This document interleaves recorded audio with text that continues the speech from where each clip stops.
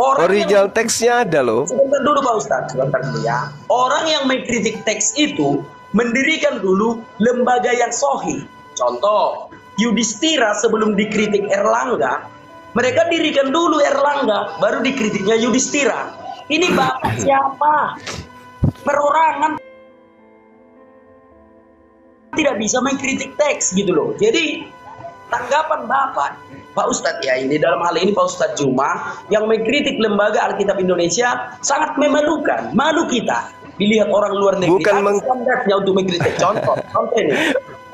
Contoh Pak Ustadz. Bukan mengkritik. Contoh dulu contoh. Kan Pak Ustadz Iya, tadi iya. mengatakan salah LAI menerjemahkan kan begitu. Shalom, Om Swastiastu, salam kebajikan bagi kita semua di mana pun kita berada. Terima kasih buat kesempatannya pada hari ini, teman-teman. Kali ini eh saya mau membagikan salah satu video ya. Beliau ini sebenarnya eh adalah anak Batak ya, yang dulunya sempat terpidana karena dibilang menista agama Islam ya dan ketika dia bebas beliau ini semangat gitu tetap melayani Tuhan loh tetap melayani Tuhan walaupun satu tahun hampir satu tahun lah ya di penjara karena dianggap dilaporkan eh, menista agama gitu ya. Yang saya salut sama anak Batak ini gitu ya semakin dia eh, berani ya semakin dia eh, teguh gitu biasanya eh, banyak kristuber juga kan yang akhirnya ditegur akhirnya berhenti gitu ya. Eh, atau takut gitu akhirnya redup lagi gitu ya. Tapi saya salut sama beliau ini. Kenapa saudara? Dia makin gentar gitu makin semangat gitu. Nah menurut saya walaupun jeruji besi sudah dinikmati sama beliau tapi beliau makin mencintai Tuhan Yesus. Saya percaya itu tuh Eh, kedekatannya mengerti Alkitab mulai tambah ilmunya sampai-sampai Ustadz Juma saudara keteteran melihat dia. Keteteran saat dia mengatakan menjelaskan yang ditanyakan oleh Ustadz Juma. Semuanya itu dijawab dengan firman Tuhan Alkitabiah. Gitu ya dan saya nonton ini videonya saudara. Saya nonton sampai habis gitu ya perdebatan ini. Karena menurut saya ini adalah eh, pondasi kita gitu ya. Pondasi bahwa melihat bahwa anak Batak ini serius serius mencintai serius untuk melayani Tuhan Yesus gitu ya. Karena apa? Bukan pembelaan saudara bukan pembelaan tetapi mencintai melayani Tuhan.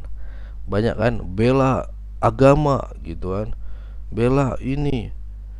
Kayak forum yang kemarin ini forum pembela Islam gitu.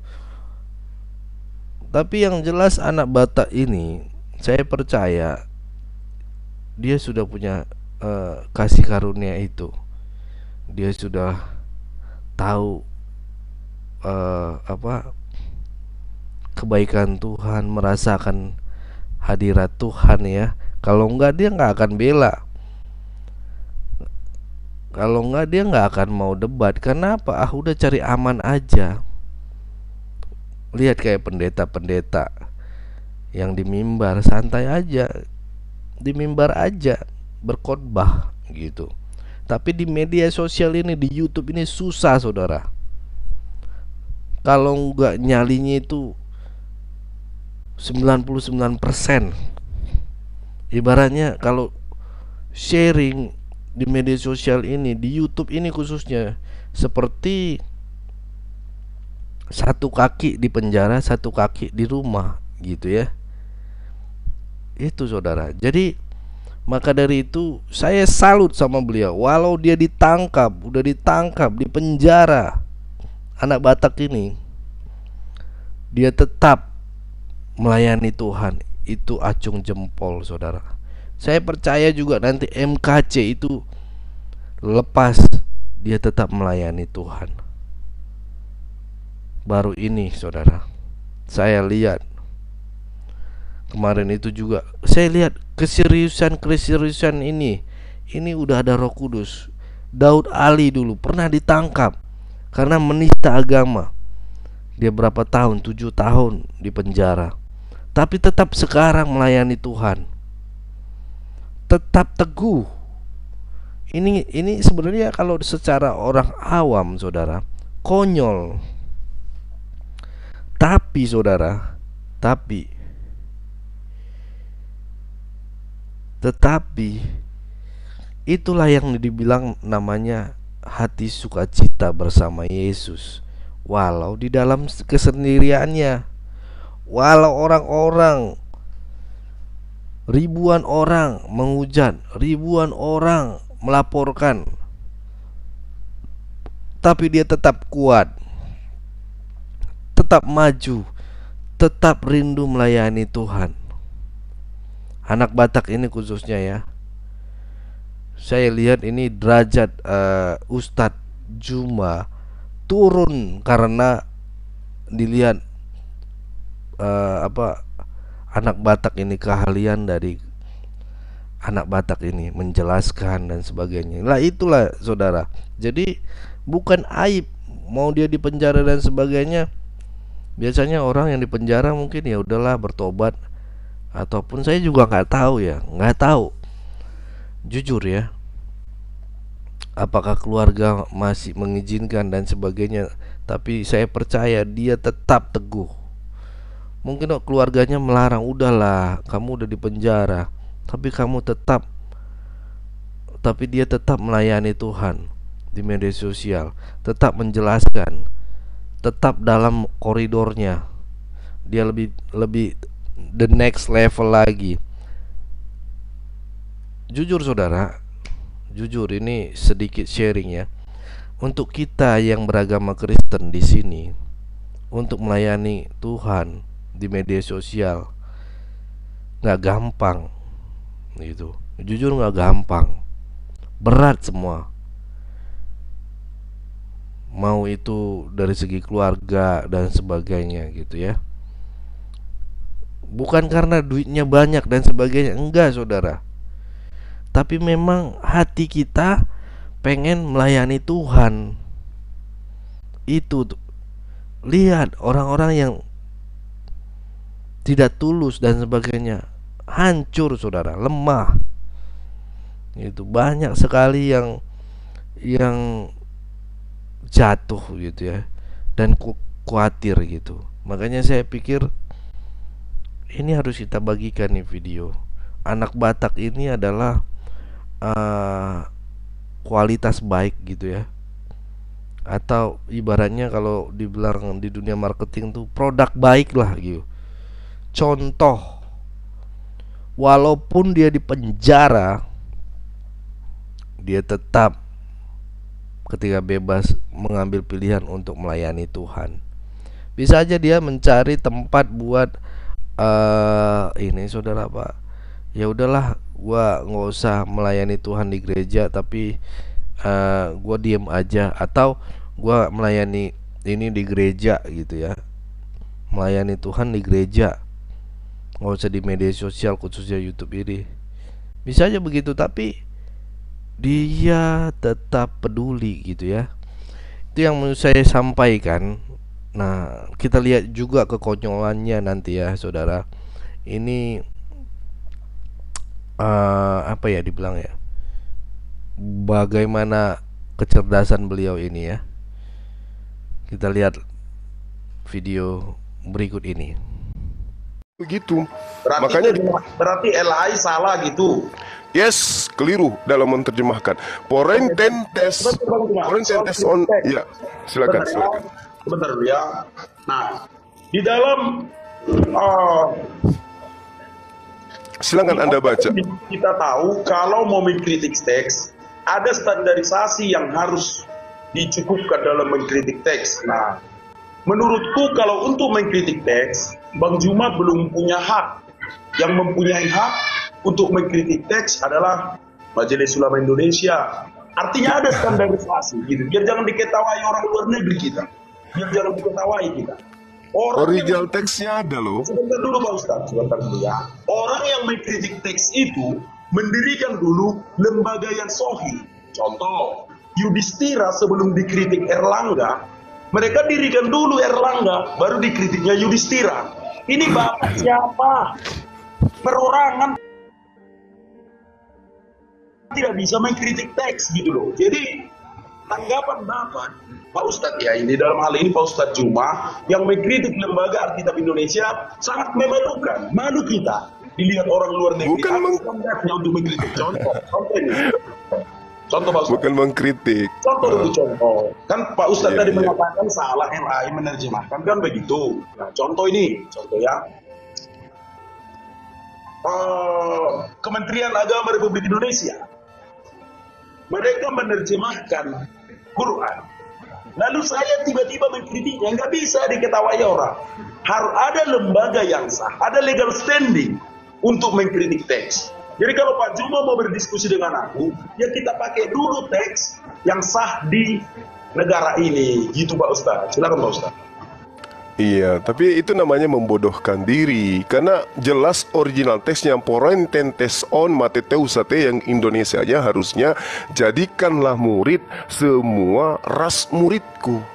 Jadi yang harus dijadikan murid ini aja hanyalah ras dari muridnya Yesus. Ras murid Yesus itu kan cuma Bani Israel, 12 suku ras itu.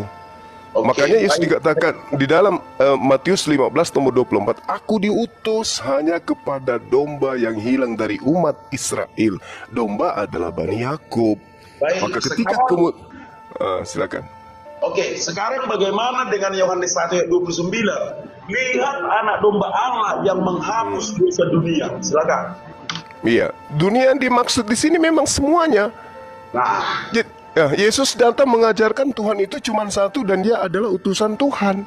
Di luar dari pemahaman ini itu keliru. Misalnya agama yang lain yang tidak menerima Yesus sebagai utusan Tuhan dan menerima menerima Tuhannya Yesus sebagai satu-satunya Tuhan itu keliru semua. Yesus datang menyadarkan semua manusia bahwa dia adalah utusan Tuhan. Bani Israel harus percaya dia adalah utusan Tuhan. Orang Yahudi harus percaya dia utusan Tuhan. Dan Tuhan yang diajarkan adalah satu-satunya Tuhan. Orang Israel harus percaya, orang Indonesia harus percaya, siapa pun itu harus percaya. Tapi dia diutus khusus untuk orang Israel saja. Aku diutus hanya kepada domba yang hilang dari umat Israel. Umat di sini etnos, etnos Israel artinya ras Israel. Kita bukan ras Israel. Jadi kalau kita nyamar-nyamar ya kita serigala dong jadinya. Kan gitu. baik. Udah? Si- Ya, silakan. Oke, baik. Ya, kita membenarkan itu ya, bahwa orang Israel ini adalah umat Sukran. Allah. Ya, Iya, silakan. Bangsa Israel ini adalah umat perjanjian Allah. Kita membenarkan itu. Tetapi mereka telah menjadi berkat bagi banyak bangsa. Itu tidak bisa kita bantah. Artinya, berkat yang diberikan kepada Yakub dan keturunannya mengalir ke seluruh bangsa, gitu loh. Bisa nggak Pak Ustadz memahaminya? Iya, tahu. Kami umat Islam paham. Ah, Allah ya. Subhanahu Nah, umat i- bagaimana? Al- Ya, sebentar dulu. Bagaimana? Bagaimana tanggapan Pak Ustadz atas perkataan Pak Ustadz sendiri? Kok bisa orang Batak atau orang Indonesia mengambil keselamatan yang dari Yahudi ini? Sementara Pak Ustadz sudah mengakui bahwa berkat yang untuk Israel adalah untuk seluruh bangsa. Gitu loh. Oke, Silakan, Pak. jadi ini kita berbicara mengenai pengutusan. Pengutusan para nabi itu diutus kepada kaumnya masing-masing. Ya. Yesus dalam hal ini diutus untuk kaumnya Bani Israel. Dan keselamatan di atas muka bumi ini memang berasas terhadap pengajaran nabi-nabi Israel kepada umat Israel dan harus diimani itu. Makanya Ya. kami Islam beriman kepada nabi-nabi yang datang kepada mereka dan beriman kepada kitab mereka. Tetapi kehususan pengutusan itu hanya berlaku kepada Bani Israel.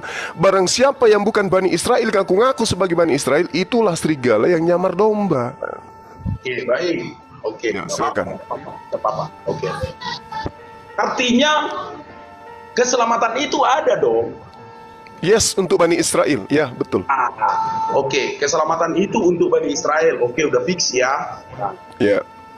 keselamatan yang adalah untuk Bani Israel ini boleh kan dimiliki bangsa-bangsa lain? Boleh? Nah, ya sudah. Makanya kami Boleh. kita orang Indonesia mengambil keselamatan yang sudah dimiliki oleh orang Israel itu. Itu aja simpel kok. Iya, cuman masalahnya keselamatan yang dimaksud di sini adalah ajaran yang datang kepada Bani Israel itu khusus untuk mereka, khusus Iya. untuk mereka. Hah, Ya benar. Hukum terus? Taurat khusus untuk mereka. Yes. Nih, ya, bentar ya.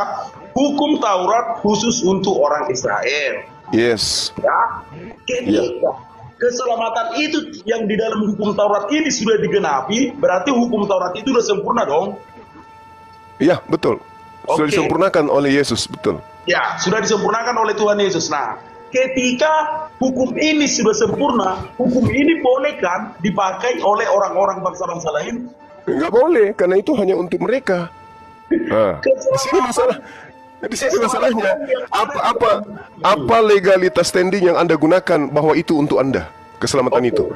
Baik. Untuk seluruh bangsa, bukan untuk saya. Iya, untuk seluruh bangsa, tapi bangsa Israel, bangsa Yahudi. Kok bangsa Yahudi sekarang Ah, gini. coba Anda baca da- Abang tak, abang bisa nggak bedakan Yahudi dengan Israel? Coba abang bedakan dulu, biar jangan Ya, abang. Yahudi itu agama, Israel itu adalah nama lain daripada Yakub. Ada lagi? Yahudi itu bang, ya. Eh, nama lain dari suku Yehuda. Nah, terus? itu Terus? dia. Nah, jadi Nah, terus? mereka ini umat Allah ini Israel. Hmm, terus? Hukum Taurat ini untuk orang Israel. Ketika Yesus menggenapi hukum Taurat ini, artinya ada keselamatan. Setelah tergenapi hukum Taurat ini, ada keselamatan di Yahudi. Benar kan Pak Ustadz? Iya, untuk mereka. Oke. Nah, Untuk Yahudi memang betul. Iya. Makanya Tuhan Yesus berkata di dalam Yohanes 4 itu tuh keselamatan hanya datang dari bangsa Yahudi. Nah, Hmm, terus? ketika Pak Ustadz, ketika Pak Ustadz ingin memperoleh keselamatan itu, kan bisa Pak Ustadz mengambil keselamatan yang daripada Yahudi ini agar Pak Oh, Ustadz bisa. juga. Nggak bisa, itu disebut kita disebut serigala, nyamar Bani Israel berarti.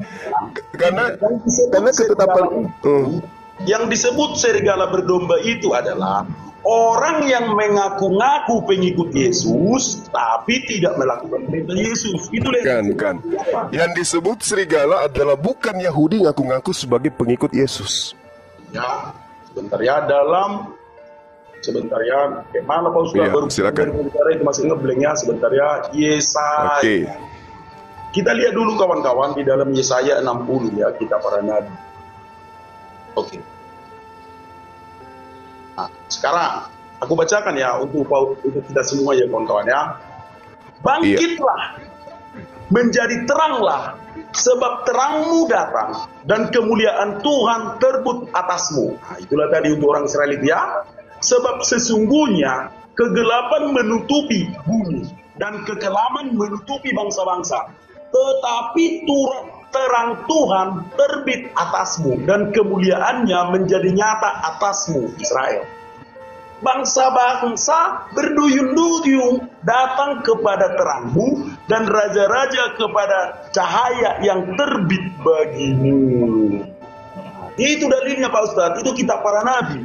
Ketika Iya. terang itu sudah tergenapi di Israel, maka ayat 3, bangsa-bangsa berduyun-duyun datang kepada terangmu. Salah satunya Indonesia. Salah satunya Indonesia yang ikut berduyun-duyun datang ke terang yang ada di Israel ini. Itu Pak. Oke, oke. Saya ingin tahu dulu, utusan terakhir yang diutus oleh Tuhan kepada Bani Israel menurut saudara siapa? Ya, oke baik. Tuhan Yesus Kristus adalah penggenapan dari semua Oke. kitab para nabi. Oke, berarti Yesus. Ya, Oke, tolong tunjukkan kepada saya bahwa Yesus diutus untuk kepada seluruh umat manusia. Pengakuan dari mulutnya sendiri, silakan. siap, siap. Matius 28 ayat 19 itu, Pak Ustaz. Matius 28 kan saya sudah jelaskan Parententes en mateteusate Jadikanlah murid semua ras muridku Oke, baik. Baik, Yohanes 1 ayat 29. Ya, domba yang menyelamatkan manusia, menyelamatkan dunia. Terus sama masalahnya.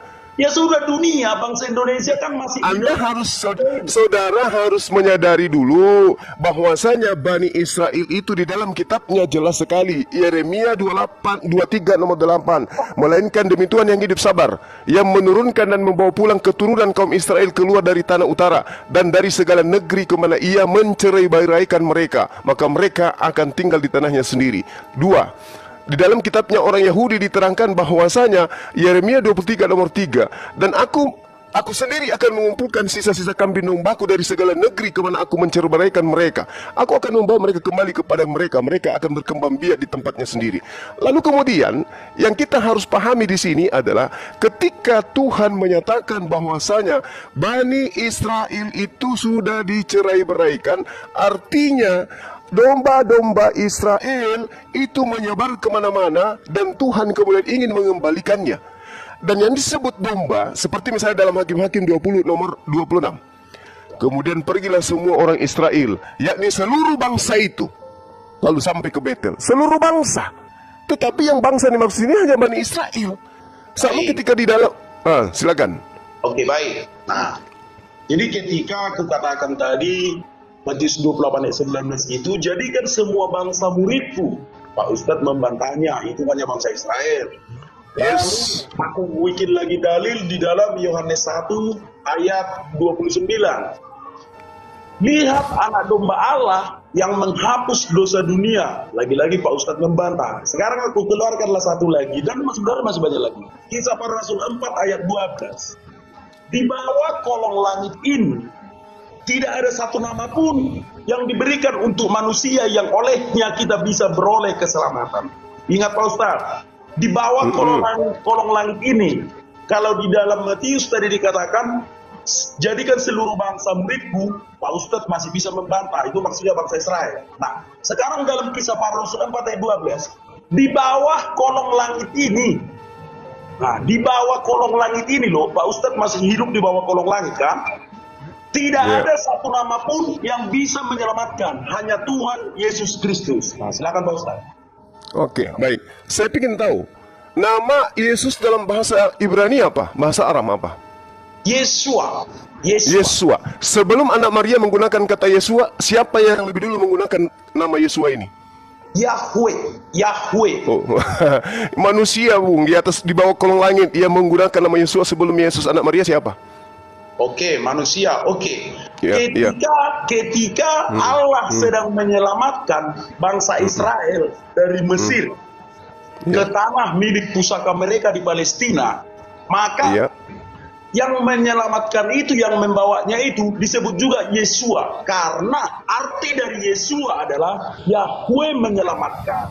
Nah, gitu. Jadi ketika mereka bereksodus, ketika mereka bereksodus dari Mesir ke tanah milik pusaka mereka di Palestina, perjalanan mereka ini diselamatkan Allah. Maka yang menyelamatkan mereka disebut juga Yesua sebab Yesua artinya adalah Allah menyelamatkan. Gitu, silakan Bang. Jangan dipelintir, Bung. Ada manusia, asisten daripada pelanjut hukum Torah bernama Yesua. Yesua itu bin Nun, anak laki-lakinya Nun. Jadi kalau nama Yesus itu yang menyelamatkan salah, berarti Yesua bin Nun yang lebih dulu. Bukan. Karena Yosua, itu Yosua bin Nun. Itu Yosua bin Nun. Bentar ya. Yesua bin Nun itu manusia. Dia manusia. Dia yang mengajarkan hukum Torah. Iya. Beda. Nah, nama Yesus itu kan belakangan di abad pertama. Yesua bin Nun itu abad keberapa? Oke. Yosua bin Nun ini adalah abdi Musa. Ini Nama Yesua kan? Namanya Yesua kan? namanya nama itu nama dia, nama panggilan Iya. abdi Musa ini gitu. Ah, Iya, berarti lebih dulu dia menggunakan nama Yesua daripada anak Maria. Tuh, Pak Ustadz gini lah, udah tahu aku. Karena yang memiliki nama Yesua atau nama Yesus itu bukan hanya Yesus sendiri, gitu maksud Pak Ustadz kan? Oke, itu benar. Pemain sepak bola pun ada Gabriel Jesus. Di Jawa Timur ada juga yang bernama Yesus. Tapi bukan itu maksudnya. Yang dimaksudnya dalam Allah menyelamatkan ini adalah Yesua Hamasia atau Adonai Yesua Hamasia. Jangan karena namanya sama, maka Pak Ustadz pukul rata. Jangan begitu. Nanti gini loh, gini sebentar. Nanti kalau aku bantah tentang nama Yosua bin Nun yang yang kepadanya mengabdi Kaleb, maka Pak Ustadz akan mengatakan lagi, bukan dia aja yang punya nama Yesus, ada Ga- Gabriel Jesus, pemain Manchester City. Nah, kalau ku bantah nanti itu, maka Pak Ustadz akan pikir lagi, ada namanya di Jawa Timur Yesus. Jadi jangan gunakan dalil-dalil seperti itu Pak Ustadz, malu kita. Nama bisa saja sama, tetapi juru selamat yang dimaksudkan di dalam kisah para Rasul 4 ayat 12 yaitu Adonai Yesua Hamasia atau Tuhan Yesus Kristus yang mati di kayu salib. Banyak nama yang sama, banyak yang meniru-niru, tetapi hanya satu yang asli. Dia yang mati di kayu salib, Adonai Yesua Hamasia. Silakan Pak. Iya, Anda kan cuma menambah-nambah. Yang dimaksud di dalam kisah para rasul itu kan tidak tidak merujuk kepada Adonai. Coba Anda perhatikan dalil Anda di situ, saudaraku. Di situ dikatakan bahwasanya adalah keselamatan dan keselamatan tidak ada di dalam siapa pun juga selain di dalam Dia. Sebab di bawah kolong langit ini tidak ada nama lain yang diberikan manusia. Hanya Dia. Tapi faktanya Yesus sudah lebih dulu diberikan nama itu. Nama bisa saja sama. Kayak mana sih cara berpikir Pak Ustaz jadi malu aku. Kan dikatakan begini, eh, kan dikatakan begini, Bung, Bung. Kolong di bawah kolong langit ini tidak ada nama lain yang diberikan kepada manusia. Oke baik. Yesus lebih dulu.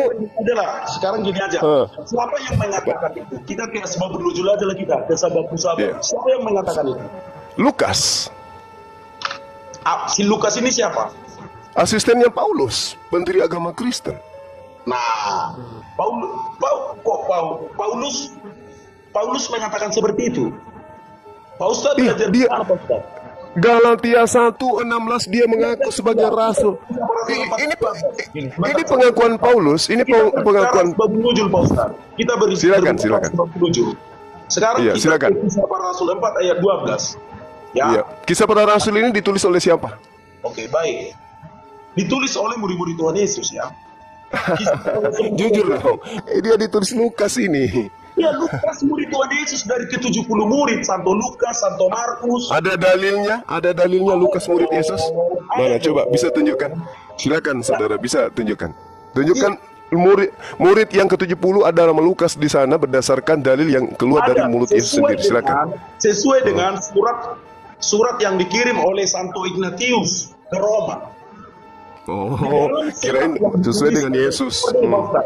Di dalam Iya, surat iya, iya. yang ditulis oleh Santo Ignatius ini, di situ ada nama ke-70 murid Tuhan Yesus dan di dalamnya ada Lukas dan Santo Markus. Sekarang kita ke Kias Babun Nujul dulu ya, Kias Babun Nujul. Iya. Di dalam Silakan. kisah para Rasul 4 ayat 12. Kenapa Pak Ustadz mengatakan yang yang berbicara di sini adalah Lukas? Apa alasannya? Sementara di sini kita jelas kita tahu yang berbicara di sini adalah Petrus.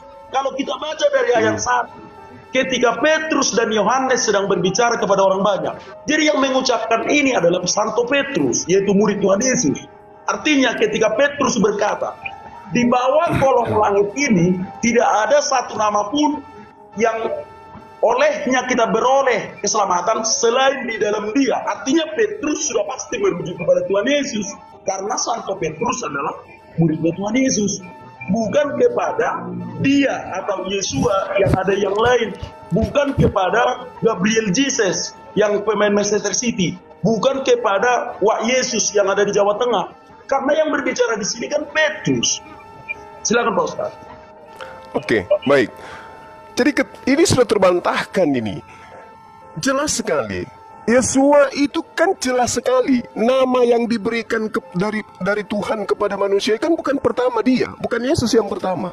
Ketika Anda mengatakan ini adalah Petrus yang berbicara, betul, ini menurut pengakuan Lukas. Lukas mengatakan Petrus berkata, kan gitu. Jadi yang menyampaikan ini ada Lukas. Lukas ini siapa? Oke baik. Lukas ini adalah orang yang menyaksikan langsung Tuhan Yesus, tetapi dia sejaman dengan Petrus tetapi dia lebih muda daripada Petrus. Murid-murid Tuhan Yesus ada 12 dan ketika Tuhan Yesus dan murid-murid yang 12 ini banyak orang mengikuti mereka, banyak orang mengikuti mereka dan salah satu dari mereka itu adalah Santo Lukas. Gitu loh Pak Ustaz. Tidak bisa, karena Petrus itu diutus untuk orang-orang yang bersunat. Artinya Petrus diutus untuk orang Yahudi. Lukas bukan orang Yahudi. Lukas Petrus gini gini gini udah udah bersalah udah bersalah. Lukas Sedangkan- Yahudi Pak Ustaz. Lukas di mana dalilnya? Di mana ya. dalilnya Lukas orang Yahudi? Silakan. Oke baik baik sebentar ya. Lukas bin kalau orang Yahudi kan ada binnya. Lukas bin Sebentar, sebentar Pak Ustadz, sebentar ya. Dalam Lukas 10 ayat 1 sampai 12. Sudah, Tuhan Yesus ya. mengutus 70 murid. Dan di dalamnya ada Santo Lukas dan Santo Markus. Mana dalilnya? Silakan Pak Ustadz.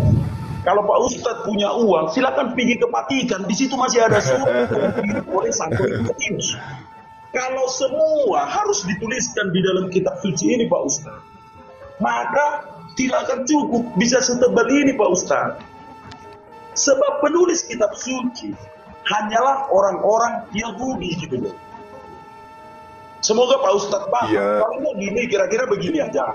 Silakan Pak Ustadz googling di internet, buka KGK, Katekismus Gereja Katolik, lalu cari informasi di sana. Iya, kalau itu saya sudah tahu. Dulu Pak bentar.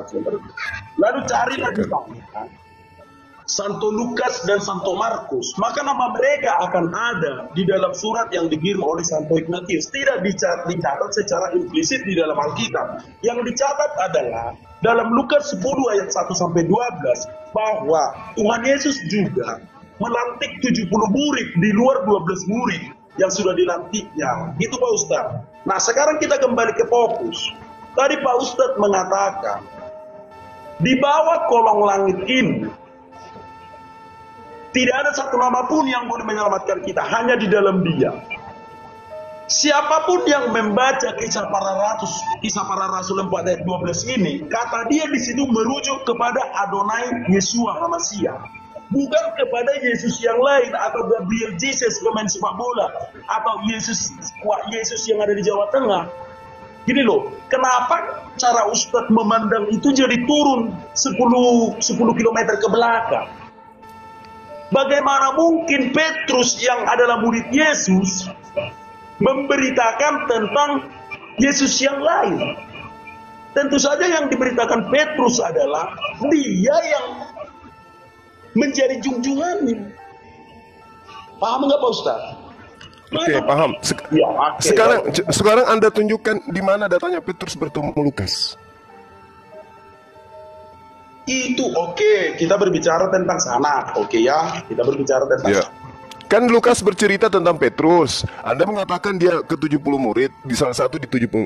Mana datanya Petrus bertemu dengan orang Romawi bernama Lukas ini? Mana datanya, Bang? baik dalam Lukas 10 ayat 1 dan 12 Tuhan Yesus mengutus atau menunjuk 70 murid yang lain. 70 murid yang lain sebelum Tuhan Yesus disalib Tuhan Yesus menunjuk 70 murid yang lain. Dan ketika Tuhan Yesus menunjuk 70 murid yang lain tentu saja Petrus bersama dia. Karena Petrus adalah salah satu dari 12 murid. Cara berpikirnya seperti itu bos nah contoh nih Tuhan Yesus kan sudah punya 12 murid. Ke mana pun Tuhan Yesus pergi ke 12 muridnya mengikuti dia. Nah di satu saat Tuhan Yesus menunjuk 70 murid. Dan di dalamnya ada Santo Lukas dan Santo Markus.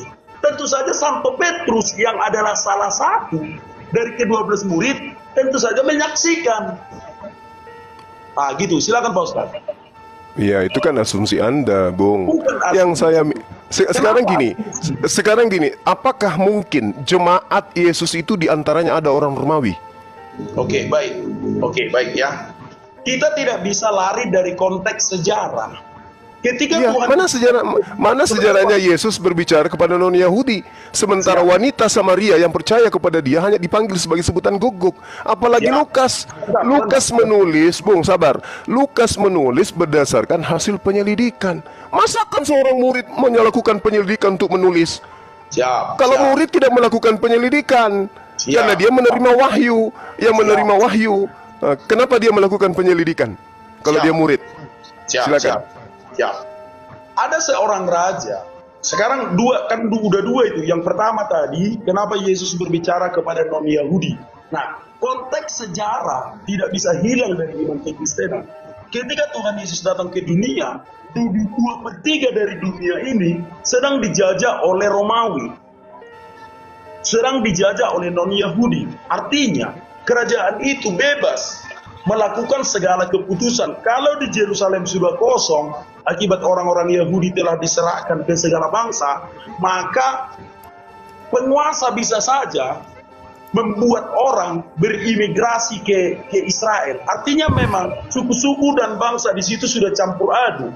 Ketika Tuhan Yesus datang ke ke dunia, Yerusalem tidak hanya dihuni oleh orang Yahudi saja. Nah, jadi ketika Tuhan Yesus datang ke dunia, segala bangsa sudah ada di sana. Dan itu diperkuat ketika uh, Rasul Petrus membaptis 3.000 orang dan ketika orang-orang percaya mula-mula telah menerima kuasa dari Roh Kudus, maka mereka berbicara dengan bahasa-bahasa yang aneh. Lalu orang-orang yang di sekitarnya berkata, bagaimana mungkin mereka bisa berbicara bahasa-bahasa yang asing sementara kita adalah orang Al-Qaeda, orang Yunani. Artinya ketika Tuhan Yesus datang ke Yerusalem, ketika Tuhan Yesus datang ke dunia, Yerusalem telah dihuni banyak suku bangsa. Jadi itulah yang membuat Tuhan Yesus itu berbicara kepada non Yahudi juga. Nah, berikutnya, jadi sudah kujawab ya, Yesus berbicara kepada orang Yahudi dan non Yahudi juga. Itu alasannya. Ya, itu apa tadi alasannya? Ketika Tuhan Yesus datang ke dunia, dari segala suku bangsa sudah tinggal di Palestina, sudah tinggal di Yerusalem, ya, di bawah pemerintahan kerajaan Romawi. Ya. Yang kedua, perintah untuk menulis kitab suci. Oke. Tuhan Yesus ketika berfirman kepada Rasul Yohanes, Tuhan Yesus selalu mengatakan, dan tuliskanlah. Ada perintah untuk menulis. Dan tuliskanlah. Kan begitu kan? Lalu ditulis di dalam catatan-catatan atau gulungan-gulungan. Apa yang diterima oleh rasul-rasul, ditulis dituliskan mereka di dalam gulungan-gulungan, disimpan entah ke mana-mana. Rasul Yohanes memberikannya kepada Santo Polikarpus yang menjadi uskup Smyrna. Dan Santo Polikarpus meneruskannya kepada Santo Irenaeus. Nah, setelah itu, setelah itu, Santo Irenaeus berbicaralah kepada Hippolytus dan lain-lain bapak-bapak gereja. Itulah kebenaran kitab suci yang ditulis oleh para rasul langsung.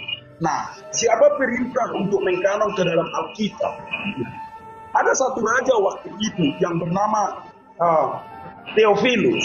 Theophilus adalah seorang raja yang besar yang dia percaya kepada Yesus bukan karena kitab suci, nah, tetapi karena mujizat. Banyak sekali ya golongan mujizat. Entah dia sakit, dipanggilnya orang Kristen lalu mendoakan dia, dia sembuh. Maka dia percaya kepada Yesus Kristus. Dia tidak pernah membaca Alkitab. Theophilus. Seorang raja waktu itu ya penguasa di dunia. Nah, lalu Theophilus ini agar tidak terjadi simpang siur di dalam iman Kristen. Ah, bagaimana sih kita beragama Kristen? Kitab suci kita tidak ada. Maka dia memerintahkan kepada seluruh orang di bawah pemerintahannya tiga perempat dunia ini yang diperintah oleh Theophilus. Siapa yang melihat Tuhan Yesus, tulis bawa ke sini kesaksiannya semua.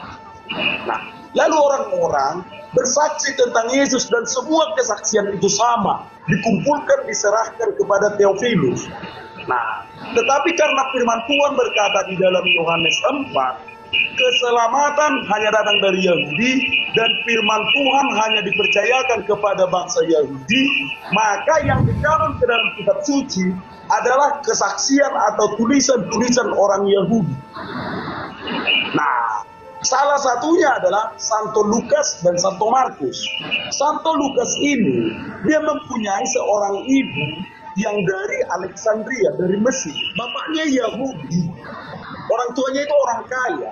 Nah, ketika Kristen mula-mula itu dicatatkan di dalam kisah para rasul memecah-mecahkan roti di satu rumah di Yerusalem, itu rumahnya Santo Lukas, mamanya Santo Lukas.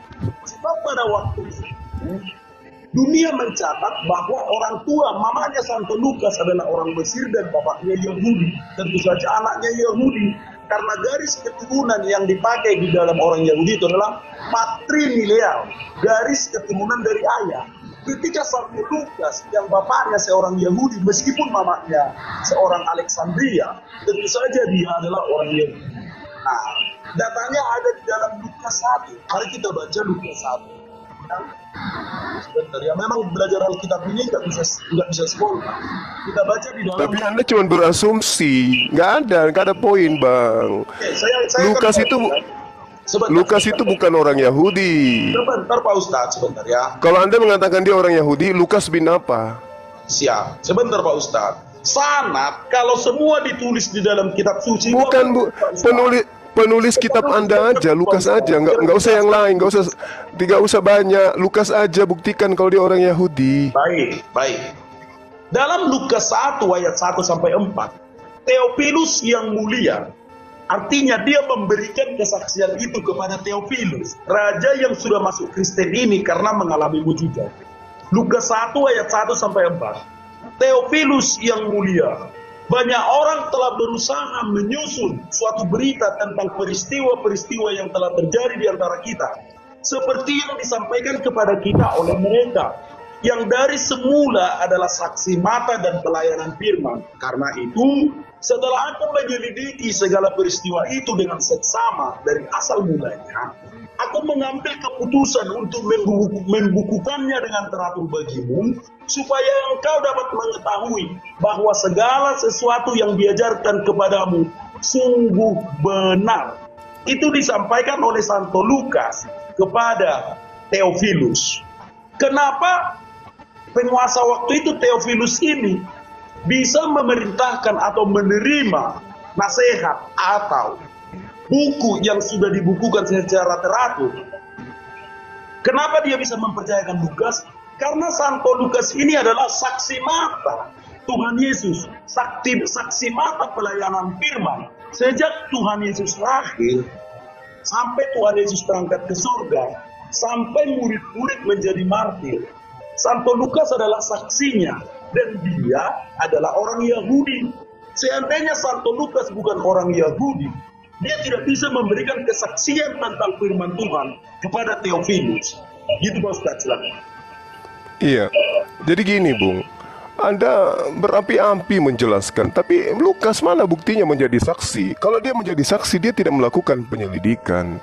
Bahkan dengan adanya Theophilus ini membuktikan bahwa Yesus ini Lukas ini bukan murid karena mustahil kemudian ada seorang Yunani yang diberikan sebuah kitab yang berasal dari Yesus. Yesus itu khusus untuk Bani Israel saja. Sementara Theophilus, Anda kan tahu sendiri bagaimana kemudian Iya, sabar dulu, sabar dulu. Jadi kalau Anda hanya mengatakan bahwa Lukas itu murid, Lukas itu saksi, mana bukti? Nggak ada bukti. Karena kenapa? Lukas ini adalah sahabat intim dari Markus dan juga Paulus. Mereka adalah seorang yang akrab. Mereka asisten. Lukas ini asisten daripada Paulus. Nah sekarang permasalahannya, Paulus sendiri mengaku di Galatia 1, 16, 17, aku diutus kepada orang-orang yang tidak bersunat. Berarti non-Yahudi.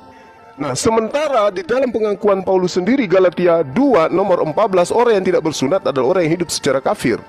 Orang yang tidak bersunat tidak boleh masuk ke dalam Yerusalem, tidak boleh masuk ke dalam sinagoge. Bagaimana mungkin Yesus berceramah berkhutbah kepada orang yang tidak bersunat? Aku diutus hanya kepada domba-domba yang hilang dari umat Israel. Jangankan Lukas, jangankan Lukas, Bung. Wanita Samaria yang datang kepada Yesus aja disebut gugup oleh Yesus. Dia sudah ngemis-ngemis dan seterusnya bersujud-sujud dia menghormat ke Yesus. Masih tetap saja dikatakan sebagai Jangan gugup. ke mana-mana dulu Pak Ustadz. Kalau semua langsung ke mana-mana, ke mana kita mau Iya, kalau begitu, coba kalau begitu, kalau gini, be- co- sekarang kalau begitu gini, nih, tunggu, tunggu, tunggu, 30 detik, 30 detik. Di dalam pengabaran Yohanes dikatakan Yesus memanggil Filipus. Filipus ikutlah denganku. Itu ada di Yohanes 1:43. Ikutlah denganku kata dia. Filipus yang dipanggil. Mana mana pengakuan Filipus? Sementara di dalam kisah para rasul 8 diceritakan Filipus men- menerima pemberitaan malaikat, Filipus memberitakan Injil Yesus. Mana Injil Filipus? Mana Injil Yesus yang diberitakan oleh Filipus? Kok lucunya ada Lukas? Lukas tidak pernah dipanggil oleh Yesus. Di mana Anda ada data? Lukas dipanggil oleh Yesus, silakan. Saudara kubukakan tadi di dalam Injil Lukas pasal 10 ayat 1 sampai 12 bahwa Tuhan Yesus mengutus 70 murid dan di dalamnya ada Santo Lukas dengan Santo Markus. Ada tertulis namanya di dalam? Ada di dalam surat yang dikirim oleh Santo Ignatius Lah. pada tahun 96 Masehi. Ignatius ini siapa? Roma. Ignatius ini siapa? Dan suratnya masih ada sampai sekarang. Iya, Ignatius itu siapa? Siapanya Yesus Ignatius itu? Santo Ignatius ini ada Ah, ah, adalah orang non Yahudi. ah itu dia makanya. Murid ya. Murid sudah saya sudah paham itu. Pembelaan anda pasti akan ke sana. Matius 10 Matius 10 nomor 5 nomor 6 Yesus berpesan kepada ke-12 Jangan ke mana Ye- mana Yesus berpesan kepada ke-12 muridnya agar jangan ke bangsa lain. Apa iya muridnya akan ke bangsa lain kalau ada pesan kayak gitu Jangan melompat-lompat dulu Pak. ingin ke Anda yang melompat. Anda yang melompat. Yesus berpesan kepada ke-12 muridnya agar jangan ke bangsa lain. Kok ada Lukas ada Agnetius dan sebagainya ini siapa? Ada Theophilus ini siapa? Karena orang Yahudi yang dilantik oleh Tuhan Yesus di dalam Injil Lukas ayat pasal 10 ayat 1 sampai 2. Gini loh Pak Ustadz. tidak ada. Dari, aku menjawabkan dari iman Kristen Pak Ustadz. ya tapi kan tidak ada. Datanya kan tidak ada. Tidak ada datanya Matius 10 Ya udah Bapak silakan. Matius 10, Matius 10, Yesus berpesan kepada ke-12 muridnya agar jangan ke bangsa lain. Pahami itu dulu, Oke, saudaraku. Kemudian, kemudian kepada murid-murid Yesus ada pembantai datang, ada serigala buas yang menganiaya murid-murid. Ke mana-mana. Ini Lukas. Ini Lukas siapa? sanad. Kita bahas sanat dulu Pak Ustadz. Iya, coba. Oke, oke. Oke, baik, baik. Yesus adalah penerima firman. Dia adalah penyampai firman. Filipus sudah ke, kita sudah tahu. Filipus dipanggil oleh Yesus. Tolong tunjukkan di mana Yesus. Anda mau bicara sanad kan? Di mana Yesus memanggil Lukas. Oke, sanad. Anda tahu sanad? Mata rantai penyampaian. Silakan Anda tunjukkan Yesus Ya. bertemu dengan Lukas. Ya. Di dalam Lukas 10 ayat 1 sampai 12, Tuhan Yesus mengutus 70 murid selain dari ke-12 murid. Dan di dalam ke-70 murid ini ada nama Santo Lukas dan Santo Markus. Itu tidak bisa dibantah karena surat yang ditulis oleh Mana Santo- dalilnya di Lukas 10? Lukas 10 ayat Di Lukas 1 10 sampai- mana? Lukas 10 ayat 1 sampai 12 di situ dijelaskan bahwa Tuhan Yesus mengutus ke 70 murid di luar ke 12 murid ini dan nama-nama ke 70 murid ini di dalamnya ada Santo Markus dan Santo Lukas dan Mana? manuskripnya ada di Vatikan. Silakan Pak Ustadz sendiri yang pergi ke Vatikan. Di situ ada paling dekat ke gereja Katolik. Contoh Ya, yang menulis yang menulis surat itu siapa? Sebentar dulu Pak Ustadz. Kalau aku ngomong Pak Ustadz juga ngomong siapa yang mau dengar? Kalau Pak Enggak, saya tanya si Silakan, silakan. Oke. Anda berapi-api tapi nonsen. Dengar dulu, Pak, kalau Pak Ustadz tidak punya ongkos untuk pergi ke Vatikan, apakah di dekat rumah Pak Ustadz ada gereja Katolik? Tanyalah pastor itu. Tanyalah pastor. Nama ke-70. Dengar dulu, matikan dulu deh mic-nya Pak Ustadz. Matikan dulu biar di sini diskusi apa, ganti-gantian kita bicara ya. Kalau Pak Ustadz tidak punya ongkos ke Vatikan untuk melihat ke-70 murid Tuhan Yesus ini, ada di dekat rumah Pak Ustadz gereja Katolik, ah, tanyalah pastor itu. Nah, itu lebih dekatnya. Gitu loh. Artinya Bapak jangan membantah apa yang memang sudah menjadi fakta. Gitu loh. Bapak bertanya, Pak Ustadz bertanya, aku menjawab. Ke-70 murid ini di dalamnya ada Santo Lukas dan Santo Petrus. Datanya ada di Vatikan, manuskripnya masih ada di Vatikan. Kalau Pak Ustadz tidak punya uang ke Vatikan, datang ke gereja Katolik, tanya pastornya, pastor, kata anak Batak, betul enggak? Di dalam Lukas 10 ayat 12, Tuhan Yesus mengutus ke 70 murid. Apakah di ke 70 murid ini ada nama Santo Lukas dan Santo Markus? Pak Ustadz silakan tanya ke pastor itu kalau Pak Ustadz nggak percaya kata-kataku gitu. Jadi jangan memaksakan kehendak. Aku hanya memberitahukan saja gitu loh. Aku hanya memberitahukan saja kalau berbicara tentang sana. Nah, kita kembali ke topik. Kita kembali ke topik yang iman kita memang berbeda Pak Ustadz. Ya pasti aku tahu dong agama Pak Ustadz. Aku tidak mau membicarakannya. Tetapi kalau membicarakan tentang Alkitab, buang dulu doktrin yang mengatakan kitab jatuh dari langit. Di dalam kekristenan, Injil itu bukan satu kitab yang jatuh dari langit, bukan. Bagi kami itu dongeng. Hal-hal seperti itu. Kami belum belum ada satu pun orang Kristen di muka bumi ini yang percaya ada buku jatuh dari langit. Itu cerita dongeng dan dipopulerkan oleh orang-orang Yunani dulu pada abad keempat gitu. Artinya Injil itu adalah kabar baik.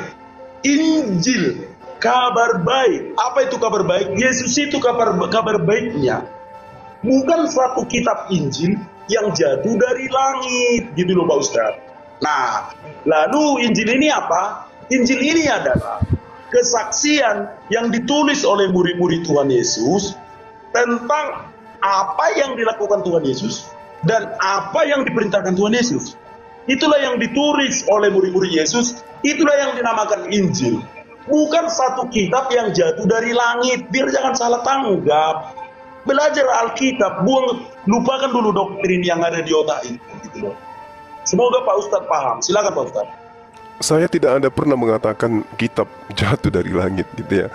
Cuman yang kita permasalahkan ini ketika saudara mengatakan di dalam Lukas 10 ada nama Lukas di sana. Padahal kalau Anda belajar, sekali lagi kalau Anda belajar dengan pakai akal, Lukas 10 jelas sekali Lukas tidak menuliskan dirinya di sana.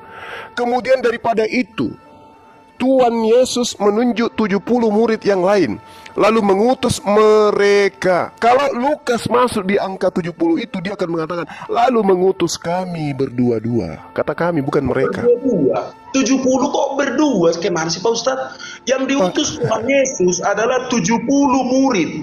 Tentu saja Alkitab tidak akan mencatat ke 70 murid ini mau berapa banyak. Makanya salinannya itu ada di Vatikan. Tapi di antara ke 70 murid ini ada Santo Lukas dan Santo Mark. Gini aja lah biar jangan di situ-situ aja. Aku sudah menjawab ya. Dan itu jawaban yang benar. Kalau Pak Ustadz nggak percaya nggak apa-apa. Nggak apa-apa Pak Ustadz. Biar jangan itu-itu aja yang kita bahas. Sudah kukatakan di dalam Lukas 10 ayat 1 sampai 12, Tuhan Yesus mengutus 70 murid selain daripada 12 murid ini. Dan di, di dalam 70 murid ini ada nama Santo Lukas dan Santo Markus gitu. Yang penting udah kujawab lah Pak Ustadz. Itu itu aja kita bahas. Yang ya, yang menulis yang menulis ada nama Lukas di situ siapa? Yang menulis? Santo Ignatius mengirimkan tulisan yang disaksikannya dikirimnya ke keuskupan Roma. Nah sekarang begini, kemudian daripada itu Tuhan menunjuk 70 murid yang lain Lalu mengutus mereka berdua-dua Kenapa tidak mengatakan mengutus kami? Kenapa mereka?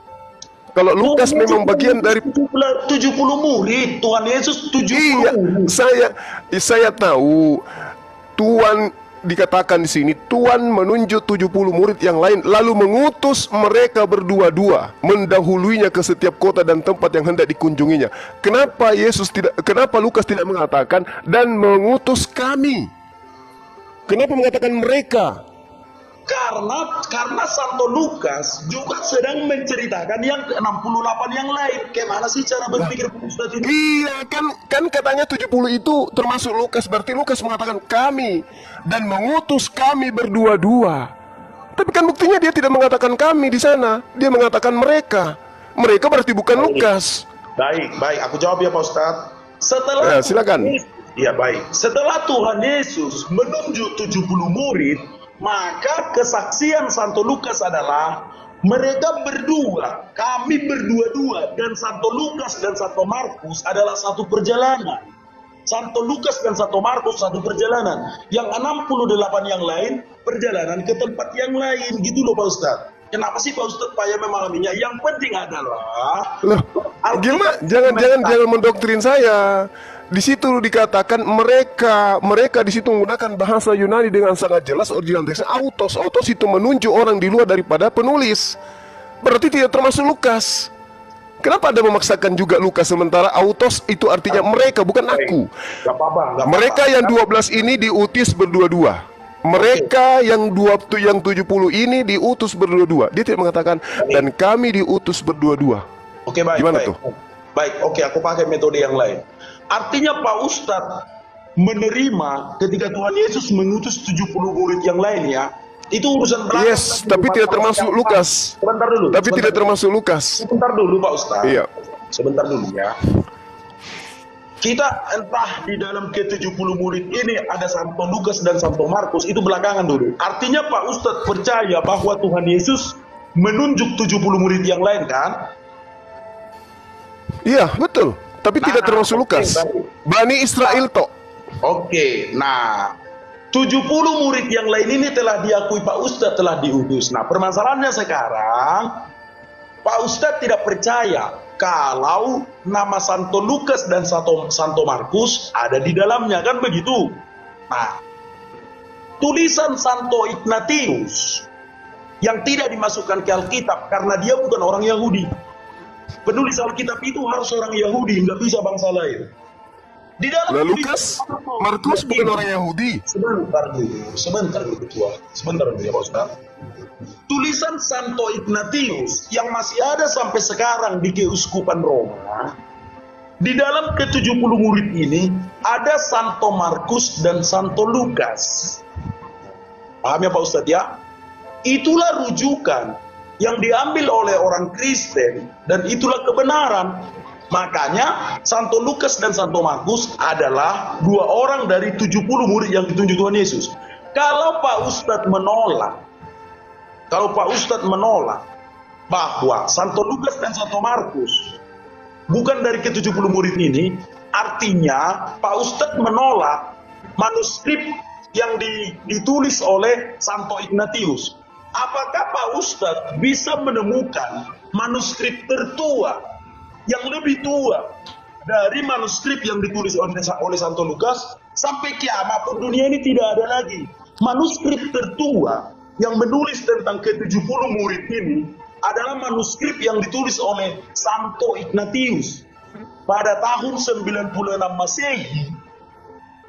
Beliau menulisnya, beliau meninggal 110 Masehi. Tulisannya ini ada di Keuskupan Roma sampai sekarang, yaitu Vatikan, ada sampai sekarang. Itulah manuskrip tertua. Kalau Pak Ustadz tidak percaya lagi kepada penemuan sejarah, sama siapa lagi Pak Ustadz percaya? Sama dongeng. Oke, oke. Oke, saya tanya dulu. Yesus itu mengutus pada tahun keberapa? Tahun berapa Yesus mengutus ke 70? 30 Masehi sampai Nah, 30 Masehi. 33 Masehi. Ignatius lahir berapa? Kapan? Ignatius lahir tahun berapa? Oke, Santo Ignatius ini dia hidup sejaman dengan Tuhan Yesus, meninggal 120 Masehi. Loh, Ignatius tadi tahun 97 menulis. Ya, dia menulis kesaksiannya atas perintah Theophilus yang berkuasa pada tahun 96 Masehi. Perintah untuk menulis seluruh kitab suci. Tapi tulisannya itu tidak dimasukkan ke dalam Alkitab karena dia bukan orang Yahudi. Tetapi Oke. tulisannya ini disimpan sampai sekarang. Oke. Dan di dalam tulisannya ini ada Oke. nama-nama ke-70 murid itu. gitu. Baik. Yesus memerintahkan muridnya di tahun 30 Masehi ke 70. Ignatius menuliskan kemudian di tahun 97. Dari mana Ignatius tahu? Santo Ignatius hidup sejaman dengan Tuhan Yesus dan para rasul. Iya, yang hidup sesama dengan Yesus itu banyak orang. Nah sekarang buktikan Ignatius ini menjadi saksi pada saat Yesus mengutus. Dan kalau Anda mencari manuskrip, nggak usah terlalu jauh manuskrip. Lukas sendiri mengakui bahwa yang ke-70 murid itu bukan dirinya. Itulah kesalahan Pak Ustadz. Loh kesalahan? Saya kan sudah bilang, Paul, tunggu tunggu. Lukas mengatakan mereka autos. Kemudian daripada itu Tuhan menunjuk 70 murid yang lain lalu mengutus mereka, bukan mengutus kami. Kalau mengatakan mengutus kami, kalau mengutus kami berarti Lukas juga ada di dalamnya. Mengutus mereka berarti Lukas tidak termasuk. Anda membawa Ignatius, Ignatius ini sopore. Apostolik, Bapak apostolik, orang non Yahudi Ayo. Di zaman para rasul. Lah, apa hubungannya dengan Yesus dengan dia ini? Dia menyaksikan langsung Tuhan Yesus. Hanya saja karena dia bukan orang Yahudi, apa yang ditulisnya tidak dimasukkannya ke dalam kitab suci. Gitu loh Pak Ustadz. Itu berdasarkan fakta sejarah. Apa sih Pak Ustadz bantah-bantah dari tadi? Itu tadi videonya saudara Bagaimana pandangan kalian Kalian taruh pesan kalian di bawah Biar kita lihat siapa sebenarnya gitu kan? Apakah ini menjadi eh, apa suatu eh, berkat, berdampak dan sebagainya ya? Jangan lupa klik tombol subscribe dan bunyikan loncengnya. Yang rindu untuk memberkati monggo bisa di da- di bawah skripsi atau di eh, kolom komentar des- deskripsi itu yang bisa saya sampaikan saudara-saudaraku. Eh, ayo jadi berkat ayo berdampak. Jangan cuman sekedar menjadi tontonan tapi kita bisa jadi tuntunan. Itu saudara-saudaraku terima kasih. Salam toleransi. Tuhan Yesus memberkati kita semua. God bless